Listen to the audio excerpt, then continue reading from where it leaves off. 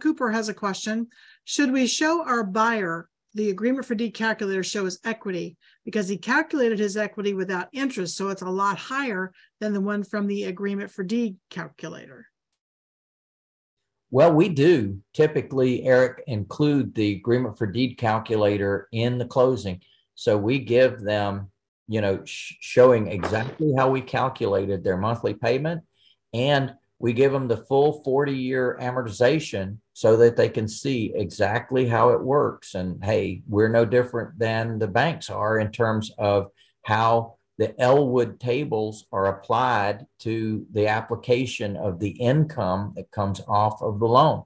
So the first payment, there's going to be a little bit that's going to go towards principal, and the rest is going towards interest. And over time, every month they're going to be incrementally increasing the amount that's going towards principal and decreasing the amount that's going towards interest. But it's going to take years for that to cross over. And so we use the Ellwood tables exactly as the banks and mortgage companies use uh, for long-term mortgages.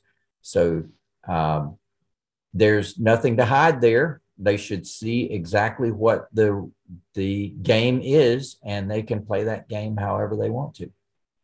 Yeah well, we do the exact same thing on our agreement for deeds. We give them the full eight or nine pages worth of the 40 year calculator.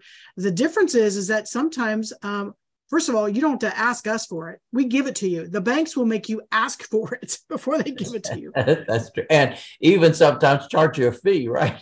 Exactly exactly